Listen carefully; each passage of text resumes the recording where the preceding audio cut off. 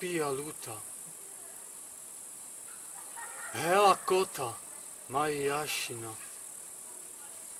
I oti jeva kije lov. Evo ate, kea pelo. Emah pija luta. Eva siću, majašina. I oti jeva kije ate, He akea pelo. Tak to byla, přátelé, báseň, nebo spíše píseň, která je o Machpia Luta, o rudém oblaku. Rudý oblak to byl jeden z nejváženějších a dá se říct nejslavnějších náčelníků těch lakotských indiánů, o kterých jsem mluvili v úvodu a kterým Jan Ulrich zachránil tu řeč, nebo pomáhá velmi silně k záchraně té řeči. V té, v té písni, která se do dneška, třeba v té největší indiánské rezervaci Pine Ridge, takhle u ohniště nebo večer u ohně zpívá, tak v ní se hovoří o tom, že tam se říká něco v tom smyslu k tomu lidu, že on říká, ten lid to chápe jako rudý oblaku. Řekli si nám, aby jsme se stali bělochy, ale zůstali jsme přitom lakotou, lakoty.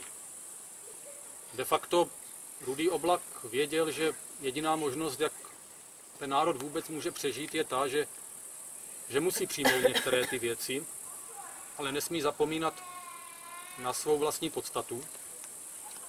A to je to, co se zpívá v té písni, kdy on jim to říká, aby teda přijali, jako kdyby to běložství, ale zůstali lakoty.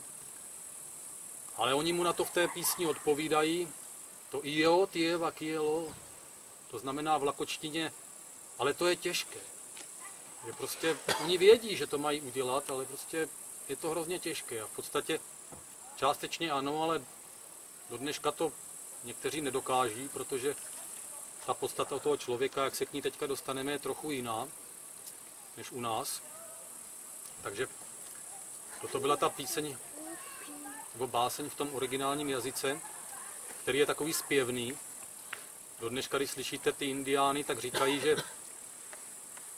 jako těm bělochům, že ta vaše řeč je taková tvrdá, že prostě vy, vy mluvíte, to je takové nepříjemné až chvílemi, ale my zpíváme, my vlastně, vlastně nemluvíme, my zpíváme. Zase, když jsme u té češtiny, tak slyšíme takový to č, š, č, takový to, to jsou právě ty části, které jsou i v tom, v, tom, v té lakočtině. Dost často to tam slyšíme, nebo i v navaštině a tady v těchto jazycích. Takže kdo ví, jak to vlastně se vznikem těch jazyků bylo a v podstatě jak se to všechno prolíná, protože víme už dneska o tom, že indiáni jsou de facto ti, kteří přišli z Ázie. Je prokázáno, že v době, kdy ještě ta pevnina byla spojená, tak oni přišli z Ázie ale zajímavostí je, že nemají stejný gen jako ti Aziati. A že v podstatě i když přišli z té Asie, tak žili izolovaní od té ostatní azijské části. Takže oni, to se stahuje třeba i k té takzvaně ohnivé vodě, jak se to říká lidově, tak oni de facto eh, neměli gen, který by dokázal štěpit ten alkohol. Proto oni na to tak hrozně trpěli, že to řeknu lidově, dal si tam prdlu běloch, tak nejde o tu zvyklost, jako to tím nemyslím. Oni už potom taky mohli být jako kdyby zvyklí po těch letech, že jo, to je hned. Ale, ale oni nebyli schopni jako geneticky štěpit ten alkohol tak jak, eh, tak jak ti běloši a proto jim to de facto tak šíleně škodilo a, a stávali se z nich úplní blázní jako potom. Jo. On to ten, I ten rudý oblak říká. Já bych nechtěl zde mluvit nějak široce o té kultuře jako takové, kdybych říkal, jak to přesně bylo třeba v jednotlivých těch kulturách a v těch rozdílech třeba u jednotlivých kmenů, protože já se na to nespecializuji. Mě zajímá ta historie jako taková a zajímá mě to propojení v té duševně duchovní oblasti, ale nejsem odborník na to, abych věděl, na které straně týpí, kde kdo seděl a kde co dělal. Mám třeba některé, některé věci, které bych vám třeba tady nechal kolovat, abyste se podívali, jak to třeba tehdy vypadalo, protože to, co vidíme dnes možná první tady ten lapačný. jsou takové trošku už vymazlené, že jo, protože se to všechno dělá napůl uměle, ale tehdy prostě Indián opravdu ohnul kus klacku, udělal lapač snů, propletl to a nebylo to takové vyumělkované, jak to vidíme dnes, i když to třeba přímo dělají ti indiáni, ale prostě tehdy to dělali trošku jinak. Takže toto jsou věci tak nějak, jak to tehdy zhruba vypadalo, jak, jak oni to dělali. Zde nějaké čistidlo. Výjimka. Některé ty věci jsem si dělal sám, některé jsem dostal. Většinu těch věcí jsem dostal darovaných, včetně tady té košile, kterou mám na sobě. Mám ji dlouhá léta, dneska ji mám poprvé veřejně. Takže to nenosím. I vlastně indiáni, když vidíte, že chodili v těch krásných krojích, tak oni v tom prosím vás vůbec nechodili normálně. Oni to používali jenom při těch, při těch obřadních záležitostech a při společenských událostech, ale normálně v tom nechodili. Já bych zde přečetl část, nebo přečetl bych zde eh, něco aktuálního, aby jsme se přenesli přímo do té doby. A přečetl bych takzvaný abdikační projev toho rudého oblaka, o kterým jsem mluvil, o tom náčelníkovi, slavném lakockém siukském, protože v tom abdikačním proslovu on řekl něco, co je vlastně velmi věrné, poplatné té době a je tam vlastně zachyceno i něco z té jejich kultury, jak z té původní, tak potom z té části, kdy už to všechno zanikalo. Takže pokud tedy mohu, tak se přenesme. Není to, prosím vás, vůbec daleko. Abych ještě řekl teda ten konkrétní čas. Ono to vypadá, že se bavíme o nějakých dávných letech, ale to je jenom klam, protože tento proslov, který vám, nebo abdikační proslov, který vám teď přečtu, tak ten je ze 4. července 1903. Rudy Oblak zemřel až v roce 1909. Takže vidíme, že je to něco přes 100 let, to vůbec není dlouhá doba, to jsou prostě tři generace. Já by to nevypadalo, že se bavíme, co bylo někdy jako velmi dávno. To jsou věci, které se naopak odehrály z hlediska historie poměrně nedávno. Se na to. Nechceš, abych to četl?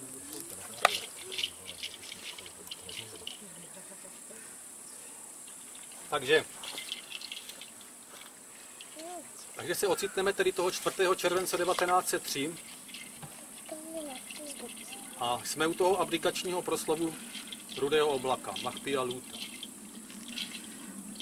Ještě předtím, než ho přečtu, bych jenom připomněl, že eh, je to proneseno v době, kdy byla v rezervacích rozvrácena kmenová rada, odstaven vliv hlavních náčelníků a eh, ty rezervační zprávy byly rozděleny a v podstatě byl, byly ty pozemky přerozdělovány na jednotlivé indiány právě z toho důvodu, aby je rozdělili, co nejvíc to šlo, aby nedrželi pospolu.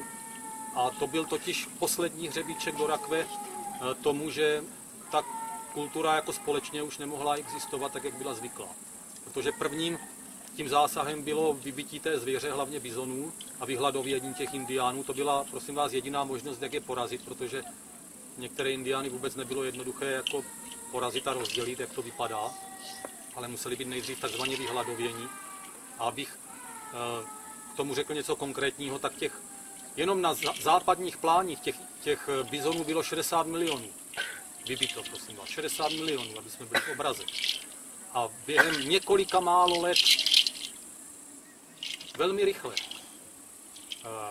já když budu mluvit potom i dál o některých těch věcech, kterým se naopak těm nepříjemným budu vyhýbat, protože já tvrdím jednu věc, nejenom já, ale měli bychom si uvědomit, že takzvaně duše nepodléhá rase, prosím vás. Já jsem měl několik let problémy s tím, abych se srovnal s tou takzvanou genocidou těch indiánů, protože to jsou opravdu neskutečné příběhy a čísla, které tam byly. A trvalo mě dlouhou dobu, než jsem byl schopen se s tím vůbec fyzicky a psychicky vyrovnat.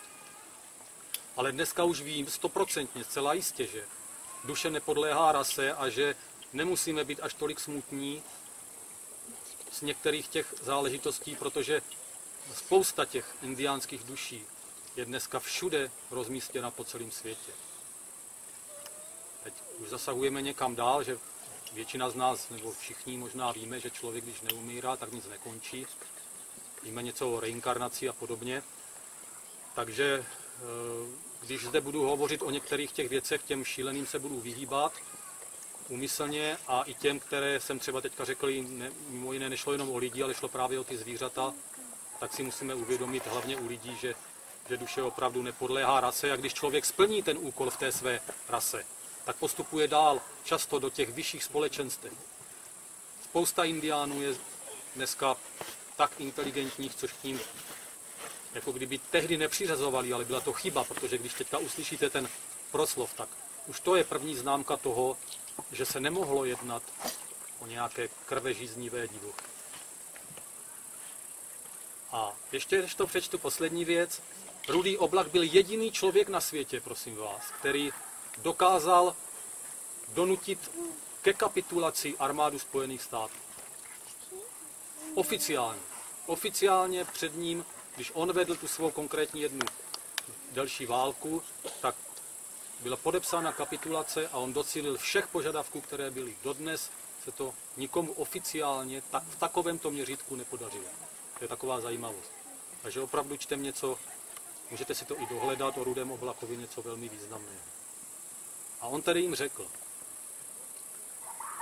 mé slunce zapadlo, mé dny jsou u konce a kolem mne se vkrádá tma. Než navždy ulehnu, chci promluvit ale ke svému lidu. Slyšte mne, mý milí přátelé, nebo není doba na to, abych vám lhal. Velký duch stvořil nás indiány a dal nám tuto zemi, abychom v ní žili. Dal nám bizony, antilopy a jeleny, abychom měli jídlo a oblečení. V našich lovištích jsme se mohli povyhobovat opravdu volně. Nikdo, nikdo nestavěl kolem našeho území hranice. Byli jsme svobodní jako vítr a jako orlové a neposlouchali jsme ničí rozkazy. Bojovali jsme proti svým nepřátelům a pořádali hostiny pro své přátele. Měli spoustu dětí a veliká stáda koní. Naši staří mužové byli moudří a vyznali se v posvátných věcech. Mladí muži se starali o koně a milovali děvčata. Bydleli jsme v týpí, takže nás nevěznil žádný dům. Nikdo neříkal, po tuto čáru je země má a po tuto tvá. Takovým způsobem žili naši otcové a byli šťastní. Pak přišel do našich lovišť cizinec, bílý muž. Dali jsme mu jídlo, dary a řekli jsme mu, ať odejde v pokoji. Podíval se na naše ženy a zůstal v našich týpích. Potom přišli jeho přátelé a postavili cesty přes naše území. Cetkami a korálkami si kupovali naše děvčata, které jsme my milovali. Přinesli máza Vakhán, záhadné železo, které střílí. A přinesli mní Vakhán, tajemnou vodu, po které se z mužů stávají blázni. Postavili kolem nás hranice a udělali na nás zákony a neptali se nás, jaké zá, zákony by vyhovovaly nám. Bílí muži se snaží udělat z bělochů indián. Snažit se přinutit indiána, aby se choval jako běloch, je asi tak nemoudré, jako se pokusit natřít jeho kůži na bílo. Ale bílí muži nám vzali naše území a vyhubili zcela naši zvěř, takže musíme jíst jídlo bílého muže nebo zemřít. My, staří indiáni, jsme komisařům řekli, že umíme bojovat, postarat se o koně a ženy a také obstarat maso a oblečení lovem zvěře, ale neumíme se hrabat v zemi a přinutit tu zem, aby z ní rostlo jídlo a oblečení. Řekli jsme jim, že posvátné síly Taků Vakhán dali lakotům k obživě a odívání bizony a řekli jim, že naše země je všude tam, kde se bizoni pasou. Ale tam, kde putovali bizoni, tam jsou dnes na kůlech natažené dráty, které označují zemi, kde se bílý muž lopotí, aby dostal ze země jídlo. A na místě bizonů je dnes dobytek, o který se musí lidé starat, aby vůbec přežil. Bílí muži řeknou, jak se má zacházet s bílými i s indiány, ale lakotové k této věci nemohou říct vůbec nic. Komisaři a další bílí muži, které nám posílá prezident, ti nám říkají, že bílí lidé vědí, co je pro nás nejlepší. Ha, jak je to možné? Že žádný běloch se přece nenarodil jako indián, tak jak může jako indián smýšlet? Bílí nám dali prostě hodně slibů. Více, než jsem si zapamatoval. Ale splnili jen jeden. Slíbili, že nám vezmou naši zem a vzali si. kněží nám říkají, že než k nám přišli bílí muži, žili jsme hříšně. Čí je to ale vina? Žili jsme přesně tak, jak jsme se naučili žít. A to, jak jsme si mysleli, že je žít správně. Měli bychom za to být teď potrestáni? Nejsem si jistý, jestli je pravda, co ti to lidé říkají. Jako dítě jsem byl veden k tomu, že posvátné síly taků Vakhán jsou mocné a mohou dělat zvláštní věci. Že se mám snažit o to, abych si je naklonil a usmířit se s nimi, že si mohou pomoci, že nám mohou pomoci, nebo nám mohou také ublížit. Že mohou být prostě dobrými přáteli, ale také strašnými nepřáteli. Byl jsem vychován s tím, že slunce, Ampétuvi a Vakhán Tánka, že je nejvyšší posvátnou silou. A že naším dědečkem Tungšila a naši lidé se k němu obraceli jako ke svému otci, Até. To mě naučili moudří muži, Vyčáša Ksápa a šamani Vyčáša Vakha. Učili mě, že náklonost posvátných mocností si mohu získat. Mohu si ji získat tím, že budu laskavý ke svým lidem, nebojácný před všemi nepřáteli a hlavně, že budu mluvit pravdu a žít poctivě. Tím, že budu bojovat za svůj lid a jeho loviště. A učili mě, že Táku Škanšán, posvátný patron všeho, co se pohybuje, je Vakhantánka, že Ián, kámen, posvátný duch všeho, co je nehybné, je Vakhantánka, že Vaknínán, hromovládné bytosti jsou Vakhantánka a že Tatánka, bizon, je také Vakhantánka. Že Angung Ité, dvojí tvář, je posvátnou mocností zla, stejně jako Heonka, služebník hromových bytostí a Inktomi, mystický šibal. Tyto věci se vždy připomínají před tancem slunce.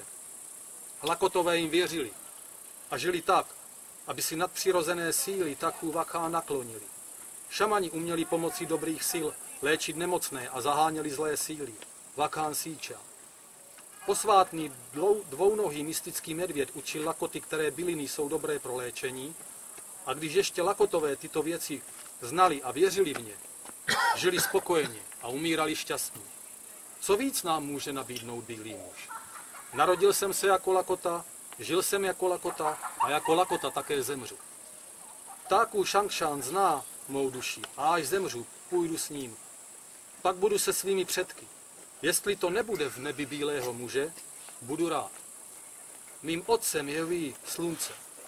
Vakhantánka bílého muže jej přemohl. Ale já mu, slunci, zůstanu věrný. Stíny přede mnou jsou dlouhé a temné.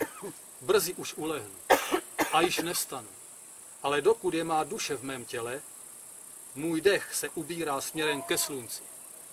Neboť ono je vševědoucí a ví, že já jsem mu stále věrný. Před svou smrtí v roce 1909 ještě řekl, jsem chudý a nahý, ale jsem náčelník tohoto národa. My nechceme být bohatí, ale chceme správně učit naše děti.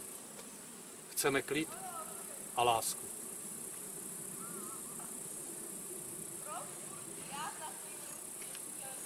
Takže nemuseli jsme si a nikdo si nedokáže zapamatovat samozřejmě jednotlivosti a všechno z tohoto abdikačního proslovu. Ale když prostě toto uslyším, tak je to takový předstupeň k tomu, aby jsme teda dumali, jestli to opravdu byli jenom krvežízniví divoši, a, nebo to bylo něco víc.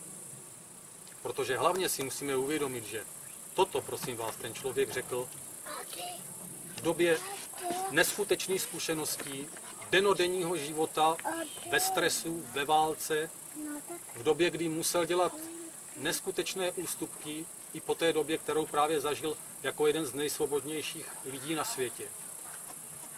Takže prostě něco takového. A prosím vás, já jsem to četl a ten člověk to řekl z patra. Řekl to z ducha, tak jak když já nečtu teda a mluvím, dělám tu přednášku a snažím se taky mluvit z ducha, tak prostě on neuměl psát, že jo, takže on si to ani nemohl napsat, tak jak dneska jsou politici zvyklí a přečíst to. Tohle on tam prostě takhle vystřelil na ty lidi. Předal to nástupnictví dalšímu, protože to bylo, prosím vás, v době, říkal jsem, že to bylo, myslím, 1903, že on zemřel 1909, no, tehdy bylo kolem 90 let, jo. Já vám tady nechám zase něco kolovat, když jsem teda o někom četl, to tady takhle vytrhnu. Tohle je, tohle je Machpia Luta, rudý oblak.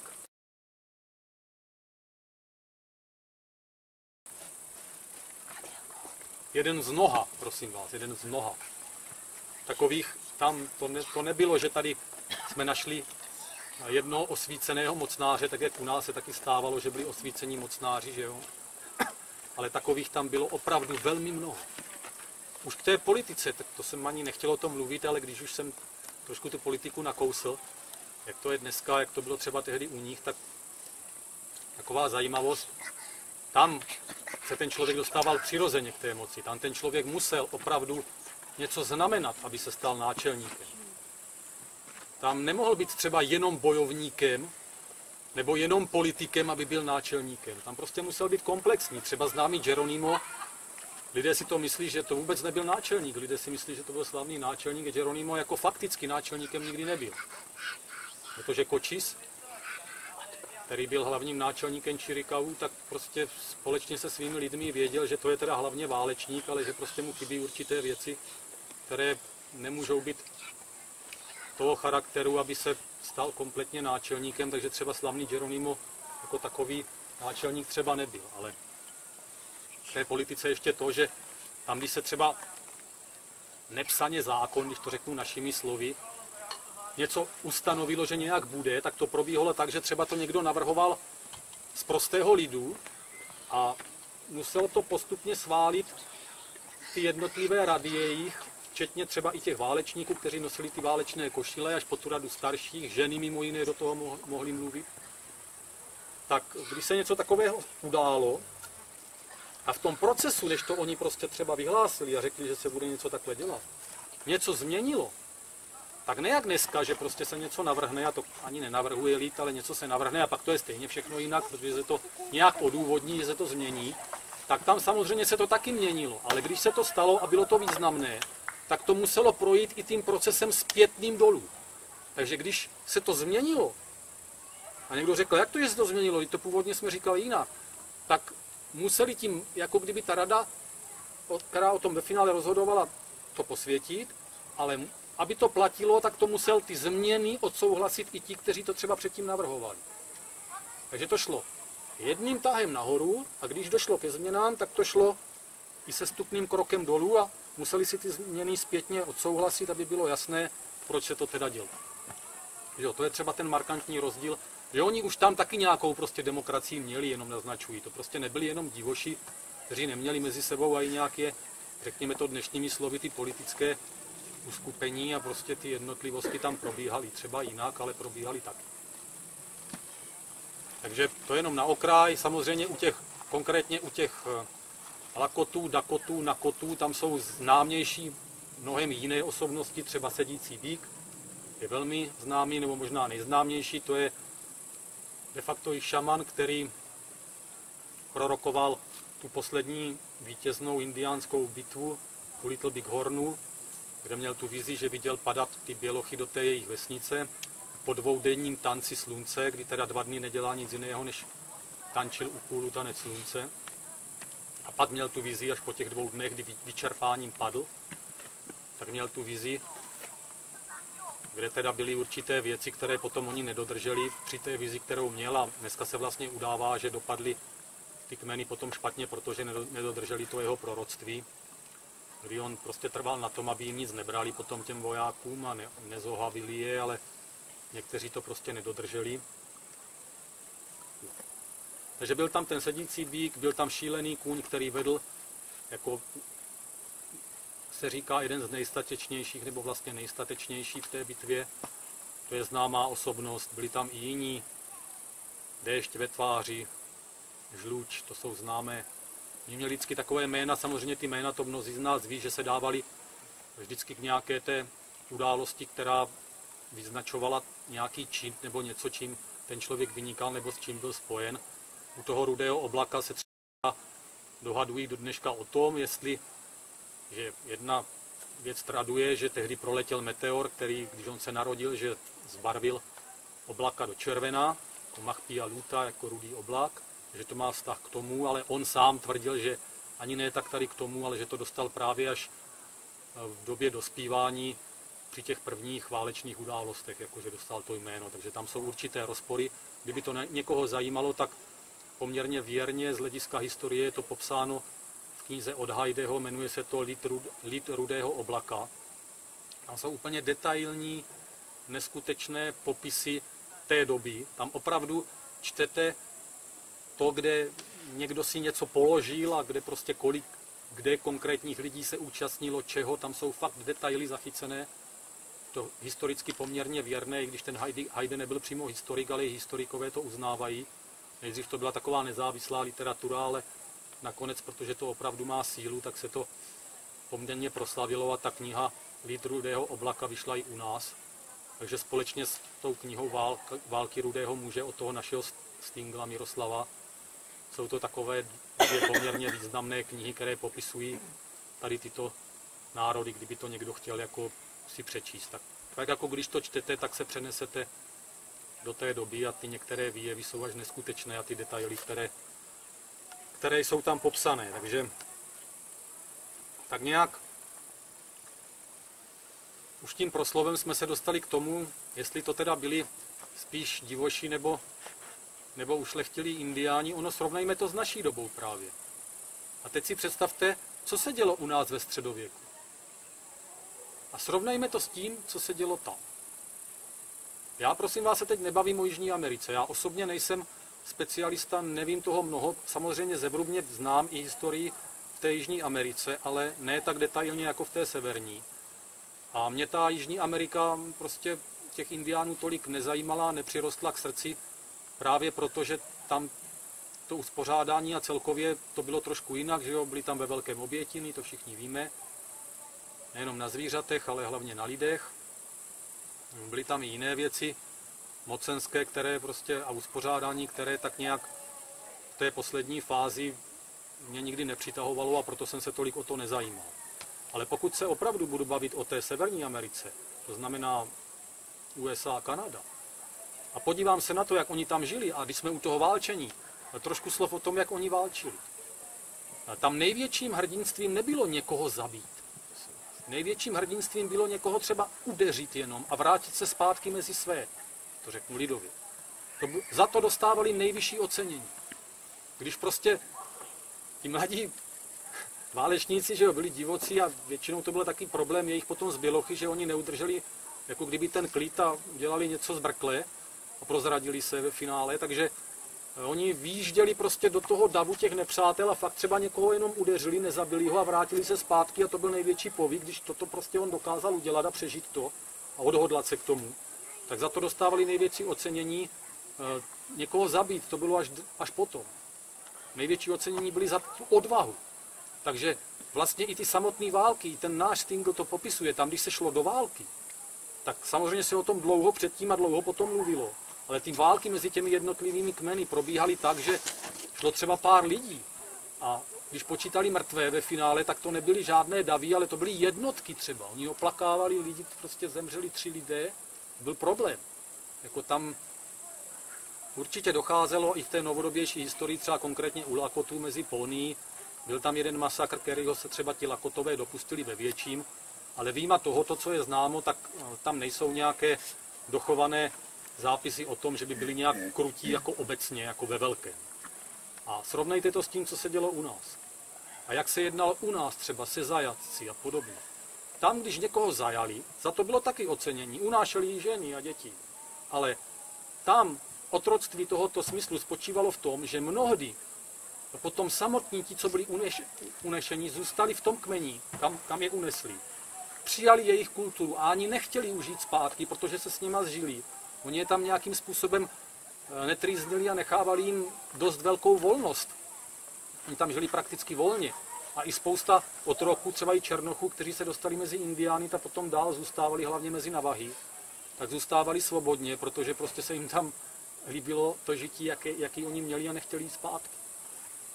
A když srovnám to, jak se válčilo u nás, jak se u nás vraždilo, jak se u nás mučilo, a všechno, prostě celá ta doba toho našeho středověku, tak pokud se podívám na to válčení u nás a na počty obětí a na způsob mučení a, a síly, prostě, která byla mocenská, ať už to byla církev nebo prostě moc světská, a srovnám to s tou kulturou těch indiánů, tak prosím vás, v tomto okamžiku, při pohledu na tu dobu, se ti indiáni jeví jako beránci. Opravdu se bavím se teda o Severní Americe, když to tvrdě srovnám s vývojem u nás a schováním u nás a beru tu nepříjemnou záležitost toho nepřátelství nebo těch válek tak jako beránci. A oni, když nebojovali, oni prosím vás většinu času nebojovali tehdy. Byla válečná výprava, pak třeba velmi dlouho žádná nebyla. Tak oni žili, někteří jako ti lesní indiáni v těch lesích, oni potom později, třeba tady tito lakotové na těch prériích, tam se dostali až nakonec vlastně původně tam nebyli, protože bez koně by tam nepřežili. tak oni žili velmi mírumilovně a lásky plně mezi sebou. Oni se naštěvovali ty rodiny prostě. Fakt měli ty slavnosti i ty soukromé, prostě takové, to, že jak my se dneska naštěvujeme, že jo, takový ty sousedské vztahy, když jsou dobré teda, že jo, často to nebývá, nebývá pravda, jak v rodinách, tak mezi sousedy, ale když jsou dobré, jak se lidé naštěvují, to oni tam dělali dennodenně. Prostě žili sebou, vyměňovali si zkušenosti, názory, předměty. Prostě já tam nevidím nějaké šílenosti v tom vlastním soužití takového charakteru, že by to převyšovalo to, co bylo zde. Takže obecně by se dalo říct, že v tom prakticky velké rozdíly nebyly, ale když bych šel do detailů, tak to vidím spíš opačně. A v podstatě i některé ty tradice, tam byly zavedeny bělochy. Prostě třeba indiáni neskalpovali původně. To je běložský výmysl. A je to běložský výmysl za peníze. Protože to byl důkaz toho, proč platili potom nájemným vrahům a i samotným potom i indiánům třeba, těm nepřátelským a využívali nepřátelství mezi některými těmi kmeny, které bylo, že prostě to byl důkaz, že zaplatili. A velké částky za, za dítě třeba 25 dolarů.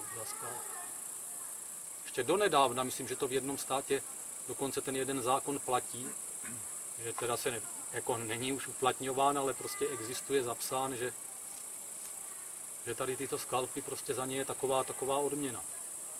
Takže to byl až výmysl bělochů a potom se samozřejmě přirozeně tak nějak přenesl a fungovali mezi těmi kmeny samotnými, ale původně ani toto jako indiáni nedělali. Takže nechci říct, že tam prostě běloch přinesl všechno špatné, to vůbec ne, aby to takhle nevypadalo. Zdůraznil jsem i to, že, že ta duše nepodléhá rase a že je to všechno prolnuté. A hold eh, určité důvody byly k tomu, co se tam dělo, ale já spíš to chápu, že indiáni měli být jakýmsi mostem mezi těma kulturama, tak jak my máme být dneska tady v té střední Evropě mostem mezi východem a západem. To je prosím vás poslání, nebo bylo hlavně poslání Československa. Že my máme být mostem mezi východem a západem. My nemůžeme říct ani, že patříme k západu, ale zdaleka ani ne to, že patříme k východu, jak se dneska někteří snaží tady prosadit. A je to velmi zhoubné a doufejme, že se to nepodaří. Tak eh, my, my prostě tak, jak máme být tím mostem mezi tím východem a západem, tak indiáni měli být mostem mezi tou starou civilizací a tou novou, i když je to v podstatě naopak, protože stará civilizace vlastně byli ti indiáni. De facto indiáni byli poslední atlantiani. Indián žil v takzvané skupinové duši, víc ještě, než my tady. A hlavně žil v té duši pocitové a ve světě obrazu. On měl neskutečně vyvinutý smysl pro cit a pro obrazy. On vnímal věci nejenom rozumově, ale právě i dost obrazně a pocitově a proto mu byly některé věci úplně cizí. Tam velmi dlouho dobu trvalo, než oni přebrali základy naší kultury. Základy, oni vůbec nechápali, jak je možné třeba prodat tu zem nejdřív. On prostě vůbec nerozuměl tomu, že to může mít prostě nějakou peněžní hodnotu. Vlastně duševně a duchovně vyjádřeno, eh, Indián byl pod máme dva negativní vlivy, luciferský a ahrimanský. Z hlediska Bible je to ďábel a satan. A oni byli pod vlivem toho Lucifera, ale nebyli prakticky vůbec pod vlivem Ahrimana. To znamená pod satanským vlivem. Oni vůbec nechápali eh, prolínání do té matérie, jakože prostě by se ta zem měla prodávat nebo stavět ty hranice, to jsme tady slyšeli. Prostě, že, že nechápali, že oni měli nějaká svá území, ale prolínali se a nechali projít prostě kolikrát ty cizí kmeny, i třeba nepřátelské, neřešili to. Území byly velký. Prostě oni nestavili nikde prostě nějaké ploty nebo něco, co pak mezi nimi začali dělat, oni to nechápali. Takže oni opravdu neměli vůbec vztah k některým těm věcem a do dneška s tím mají někteří problémy, jiní ne. E, někteří se adaptovali velmi rychle, ale bylo jich málo.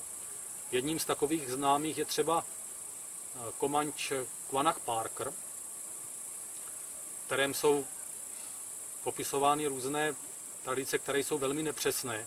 Já třeba zrovna nedávno jsem si koupil časopis Regenerace, což je velmi, velmi známý časopis, ale tak mě to, tak mě to zaujalo, že, se, že mě nedalo, že jsem si ho koupil, to číslo. Když jsem to prolistoval a viděl jsem hnedka, že na druhé straně je, je Kvanach Parker, vám to pak pošlu. V jedné části je v indiánském oděvu a v druhé v běložském oděvu. A regenerace k tomu napsala, přečtu jenom poslední odstavec. Jako kluk se naučil jezdit na koni a později je krást a také zabíjet bělochy při nesčetných přepadech. Mstil se za svého otce, kterého zabili modré kabáty, a za bratra, jež zemřel na úplavici. Na snímcích z roku 1890, to je to, co jsem ukazoval, kdy už byli komančové skrocení, chtěl dobový fotograf ukázat, že šaty Kvanaha opravdu udělají řádného občana Spojených států amerických. Jeho pohled ale zůstal stejně neskrotný a svobodný. No, a teď, když si toto přečte člověk, který o tom nic neví, v dobré víře, tak to prostě vypadá, že Kvanach Parker hold jako byl indián, který ho násilím, tak jak je to tady, ne násilím, ale teda oblékli do toho běložského šatu, aby ukázali, že to z něho udělá eh, pořádaného američana. Ale pravda je, že zrovna Kvanach Parker byl jeden z těch, který eh, jeden z prvních přijal křesťanství, eh, začal žít určitým způsobem životem bělocha, ty šaty si koupil sám a dobrovolně, či nápršet, stejně jak loni. Koupil si šaty sám a dobrovolně a rozhodně to nebylo tak, že by díky němu chtěli eh, dělat z něho jako spořádaného američana. Tím chci říct, že vlastně, jak my to tady dneska zkreslujeme, takto seriózní časopis jako Regenerace napíše vlastně úplnou lež o Kvanahu Parkerovi, který to udělal dobrovolně a stal se křesťanem. Oni řeknou, že stále má neskrotný pohled a udělali z něho teda Američana. Ne, ne, to je právě ten, který se stal tím dobrovolně. To je jedna věc. Druhá věc, jo. To je všechno z této doby, teďka. Vyšel časopis Téma, kde na první straně byl Vinetu pravdy a mít. Tak mě to zaujalo, je tam velmi dlouhý a pěkný rozhovor, jsou tam velmi podnětné věci. Ale proč jsem si to koupil? Bylo tady napsáno, dusili své děti. Indiáni, že dusili své děti. To mě zaujalo teda velmi, protože něco o tom No a když jsem si to přečetl, ten rozhovor, tak vám zase přečtu ten kousek, jak teda dusili ty své děti. Ona se ta paní snažila vysvětlit a mimo jiné žila mezi Indiány dlouhou dobu přesto napsala to, co vám teď přečtu. Ohledně rození, rození a rané výchovy indiánských dětí je celá řada mýtů. Třeba, že děti nepláčou, protože mají harmonický vztah s přírodou. A žijí v souladu s touto přírodou a jejími přirozenými potřebami. Jeden Američan, ale který byl vězněm u Siouxů, vysvětlil, že siouxské dítě mohlo se vyplakat jen jednou, hned po narození. Pak to matka to dítě velmi drsně odnaučila. Když začalo brečet, spala mu nosík, takže se začalo dusit. Vypěstovala tak u něj reflex, že jakmile se začalo nabírat, začalo se dusit už samo.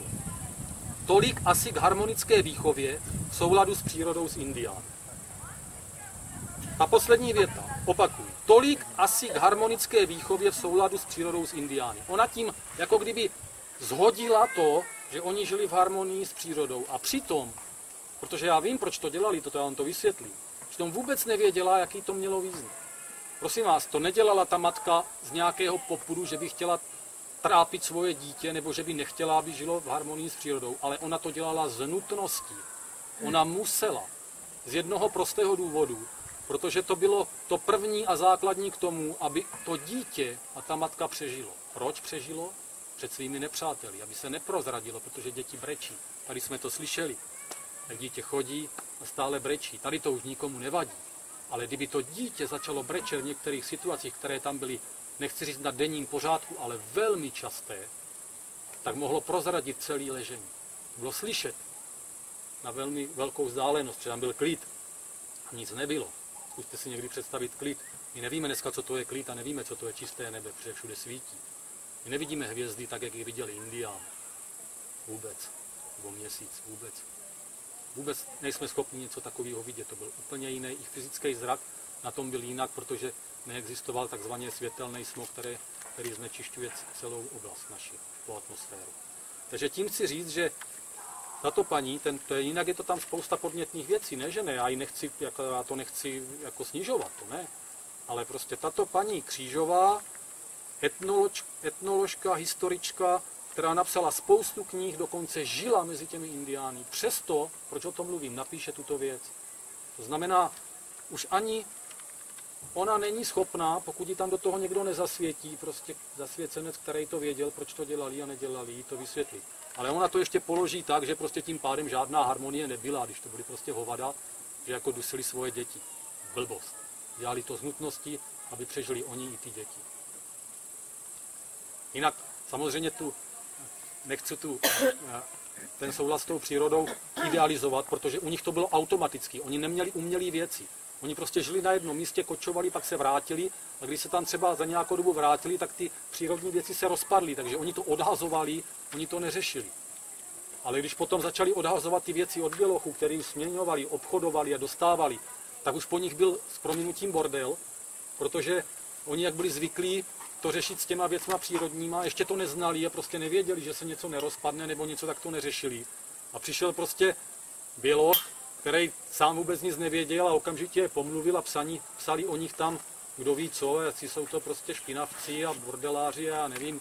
A takhle vznikaly ty mýty prostě na ten pohled na ně a všeli, jak se to prolínalo a, a nemohlo to dělat dobrotu, protože ten člověk, ti lidé, kteří tam přišli, nebyli schopni vnímat jest.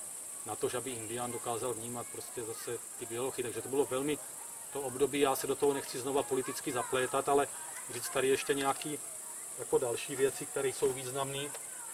Tím jsem chtěl jenom naznačit, že u nás prostě někdy i seriózní prostě média můžou něco říci nebo něco napsat, ale pokud to neznáme do detailu, tak těžko jako něčemu jako nějak důvěřovat. Ke svobodě Indiána. Já to, to je jedno z mých oblíbených jako myšlenek a témat. Ten indián byl jako duševně a duchovně a myšlenkově svobodný ještě dávno potom, co už eh, žil v rezervacích. Ale nestlo se to a táhlo se to samozřejmě z těch dob minulých, protože tam ten svobodný názor šel až tak daleko, že představte si, že šlo třeba opravdu o nějakou bitvu, kdy ti muži prostě šli a neptali se na důvody. Ale i když se našel někdo, kdo prostě nešel, tak si představte, ne, že nejde o to, že nešel, ale že se ho nikdo neptal, proč nejde. Neříkám zase, že u všech. Ty jednotlivý kmeny a ty kultury se lišily. Ale v mnohých případech se dělo to, že prostě opravdu byla nějaká podstatná událost, on prostě nešel do bitvy a nikdo se ho ani nezeptal proč, protože automaticky všichni věděli, že on k tomu hold musí mít ten pádný důvod, že nejde. Ta paní to tady popisuje tak, a taky se to dělo, že prostě den před bitvou oni sedli a kouřili prostě dýmky a, a dobré trávy a někteří se prostě sválně zkouřili tak, aby nebyli schopni ráno jít do té bitvy. A tím pádem, jo, to se taky stávalo, a tím pádem jim vlastně nemohl mít ani nikdo nic za zlý, že jo, když prostě nebyl schopný, tak prostě nebyl schopný, tak to nikdo neřešil, ale to byl extrém, ale byly i situace, kdy oni dobrovolně jako nešli, protože k tomu měli důvod, že třeba byla to válka proti nějakému kmeni, kde měli příbuzný. Tak prostě on tam nešel.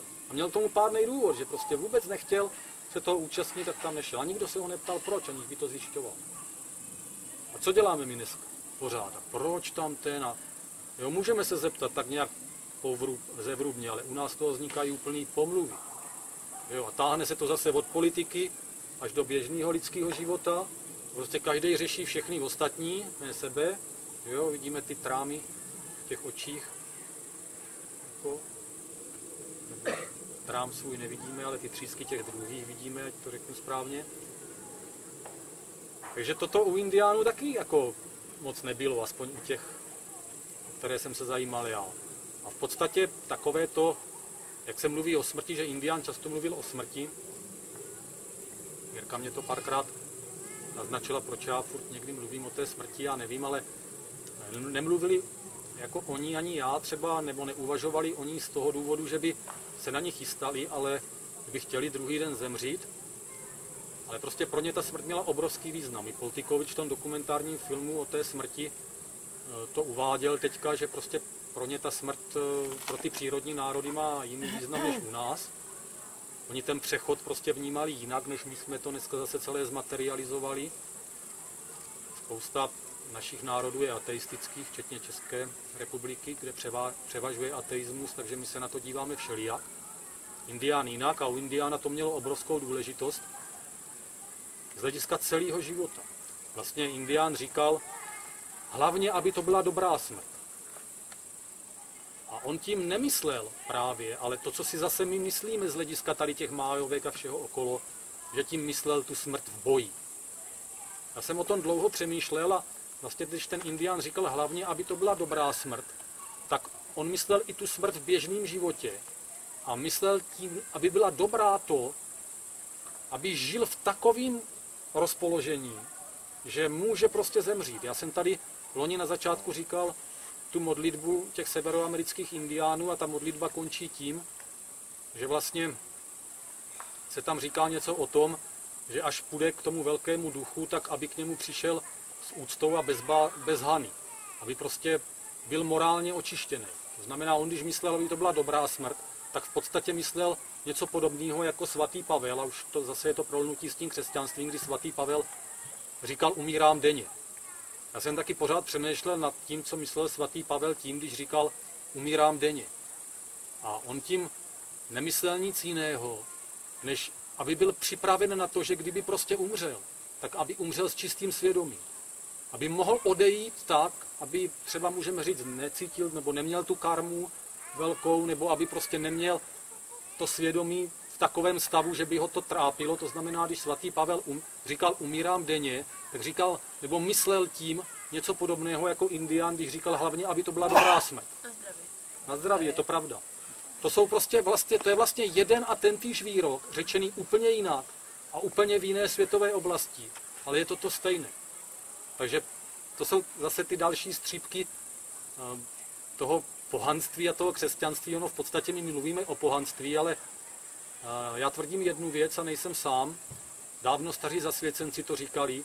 Podstatě, jak se projevoval ten Kristův impuls? Proč se projevoval už od začátku i v jiných oblastech a nejenom v Palestíně?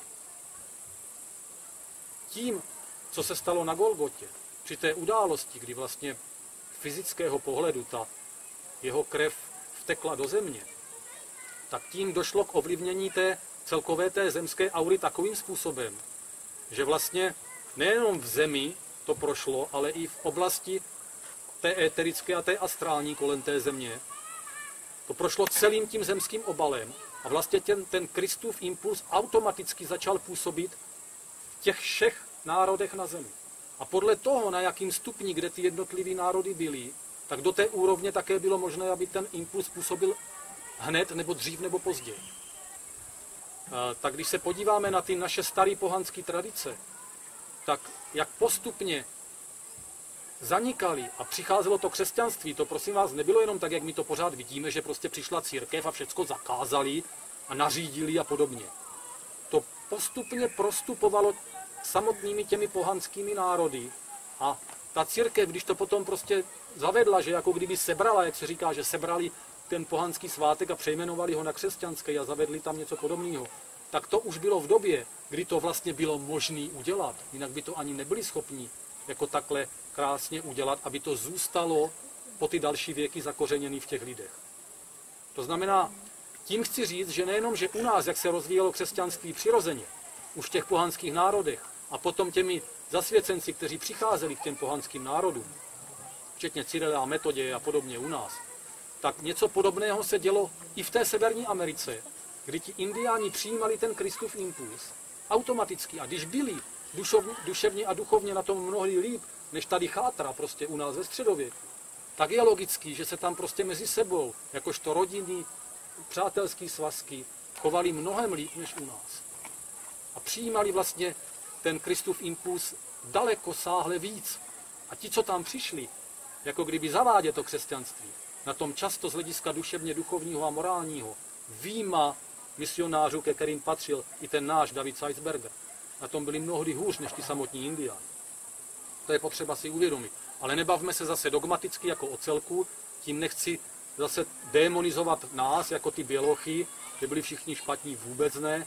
Prostě jenom chci říct, že obecně je to známá pravda, že ti, co tam přicházeli jako první, se, ne, se nechovali moc správně. A to často i křesťané. Třeba vemte si svátek díku zdání.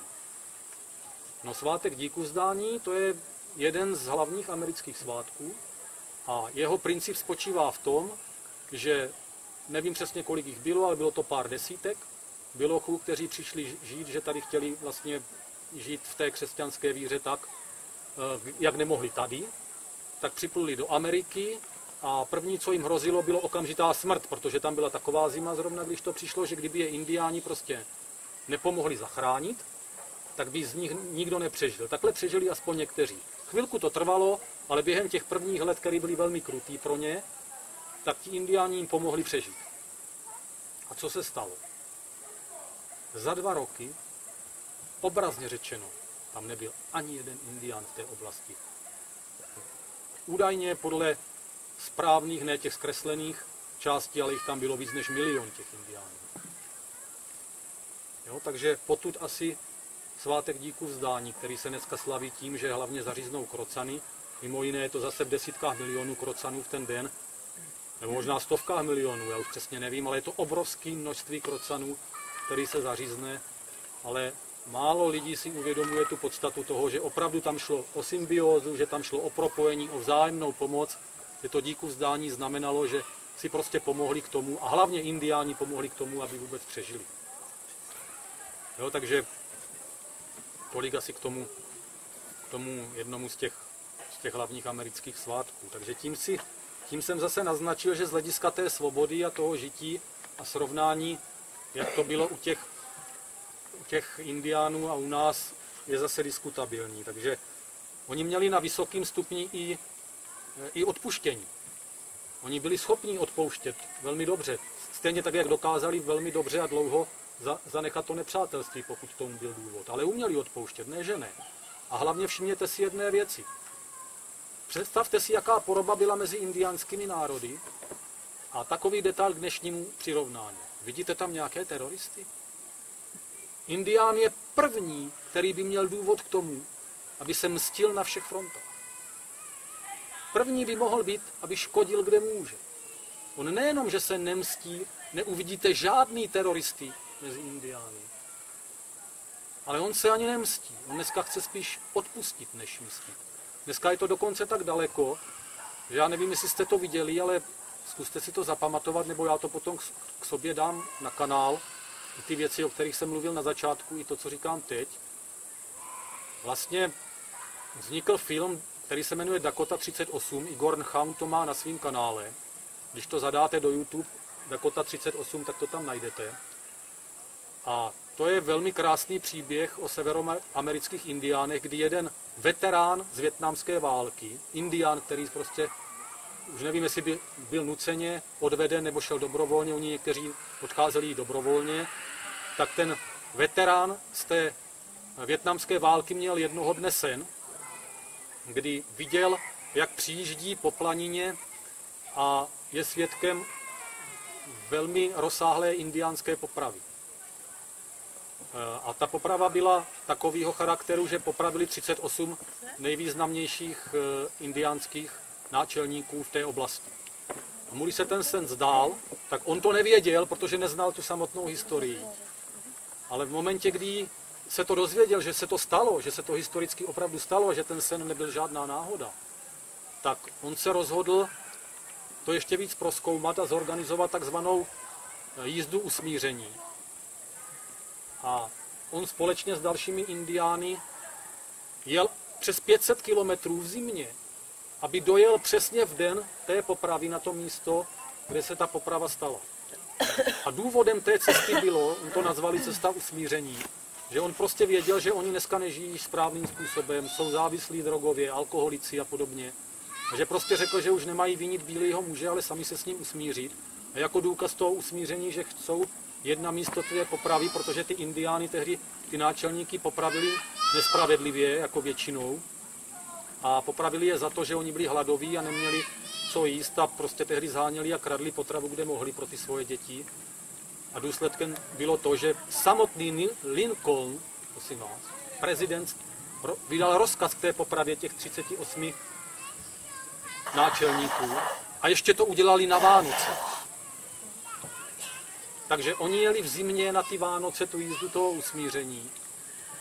Než dojeli, v tom dokumentu to je, tak někteří to nepřežili, ti indiáni, prostě mladí lidi, různí. Prostě vůbec to nedokázali uskutečnit a nedojeli tam všichni, anebo někteří zemřeli až potom, co tu, co tu cestu uskutečnili. Takže, takže kdo je vlastně teda křesťan, že? Oni jedou a chcou se usmířit a dělají takovýhle akty naprosto bez zájmu. Kdyby to sami nenatočili, jak vlastně putují a nepomáhali jim ti lidi při té cestě, tak tam to nepřežil možná nikdo. Ale oni de facto sami, bez prostředků a bez ničeho, dělají třeba takovýhle akt dneska. Kam se Minule jsme to dělali, že jsme se přemístili pod strom, že? Ne, do týpíčka. Do týpíčka. No nejdřív pod strom, pak, pak do týpíčka. Můžeme do jídelny. Kdo by to řekl, že se historie bude opakovat, že?